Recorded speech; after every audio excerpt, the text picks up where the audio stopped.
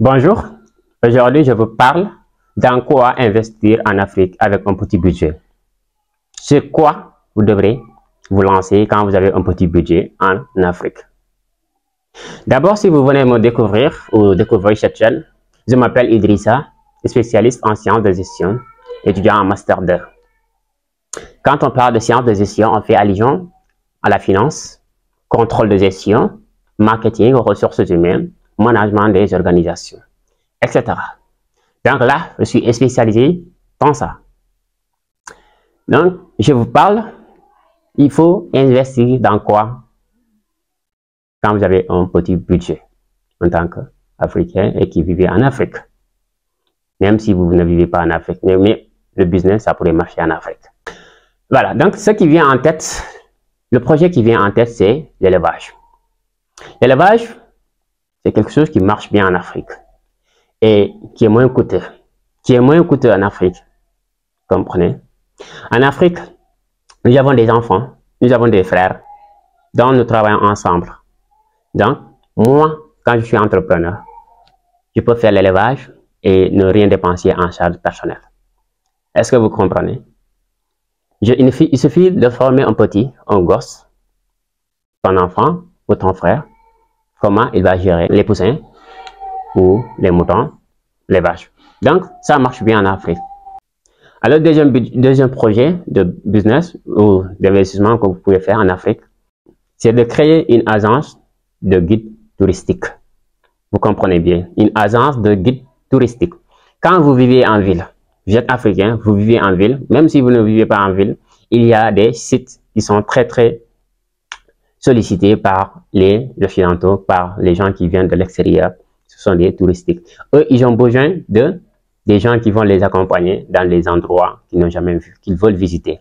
Donc, vous, vous pouvez mettre cette, cette agence et vous vous créez une visibilité, euh, surtout une agence qui est fiable. Voilà. Donc, quand vous créez une agence qui est fiable, parce que n'oubliez pas l'attente du client, surtout l'attente du client est son casse. Quand on dit l'attente du client est son casse, vous, allez comprendre. Euh, le client attend d'abord d'abord la sécurité. Et si votre agent n'est pas sûr, personne ne va vous contacter. Donc, première des choses, quand vous avez créé une agence qui est sûre, donc le premier attente du client, c'est la sécurité. Vous pouvez vous faire facilement de l'argent avec les touristes.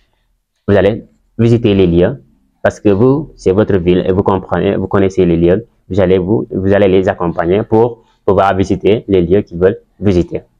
Et troisièmement, la poissonnerie. La poissonnerie aussi, c'est quelque chose qui, qui, qui, qui, marche bien. Euh, les, le, poisson. Supposons aussi au Sénégal, le poisson, à la zone orientale, il est difficile d'acheter du poisson. Donc, qu'est-ce qu'on va faire? Nous, on va aller à Dakar, nous, on va acheter des poissons en grossiste et on va chercher un transporteur qui va transporter poissons vers les endroits qui n'ont pas ou qui ont accès dur aux poissons.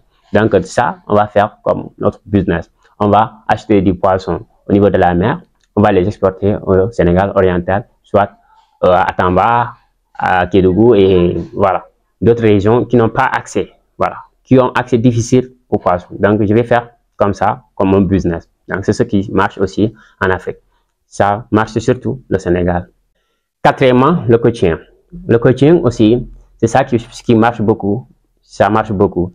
Même 50 000 francs, vous pouvez commencer à coacher. Vraiment, 25 000 francs, vous pouvez commencer à coacher. Vous allez seulement créer un, un réseau, c'est-à-dire le business, ça se passe dans un réseau. Si vous n'avez pas de réseau, ça, sera difficile euh, de réussir dans le business. Il faut créer un réseau. Si vous avez, si vous êtes bien en sport ou à la cuisine, c'est-à-dire vous allez former, vous allez euh, commencer à coacher les gens en sport. Vous allez acheter des équipements de sport et vous, avez, vous allez euh, avoir euh, une équipe de, à, à, à, coacher. C'est-à-dire, vous faites, vous ouvrez votre plateforme, votre liste d'inscription.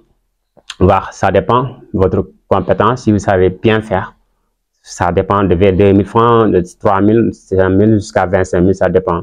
Et vous allez avoir des inscrits qui vont suivre régulièrement votre coaching en ce moment, vous allez dépenser moins et vous faites marcher votre business. Le coaching aussi, ça n'a pas besoin de faire, d'avoir des millions. Vous comprenez? C'est ce qui vient en quatrième place et en cinquième place, le commerce en ligne. Le commerce en ligne. Beaucoup le font aujourd'hui, surtout sur WhatsApp. WhatsApp fait des chiffres d'affaires aujourd'hui. Vous avez, vous avez votre téléphone portable, vous avez votre téléphone portable et vous statuez des produits en ligne que vous n'avez même pas ces produits. Donc, avec 0 francs, vous pouvez démarrer même ce business. Vous en avez 0 francs et vous statuez des produits. Si vous recevez une commande de la part d'un client, de quelqu'un qui suit vos statuts, donc là, vous avez un marché. Vous allez passer la commande au fournisseur. Donc vous, vous allez avoir une relation avec un fournisseur qui a le produit que vous allez statuer. Ne statuez pas un produit que vous n'en avez pas, que vous ne pouvez pas avoir. Que vous n'en avez pas, oui, c'est bon, mais que vous ne pouvez pas avoir. Donc ça, ça c'est pas important que vous le faites.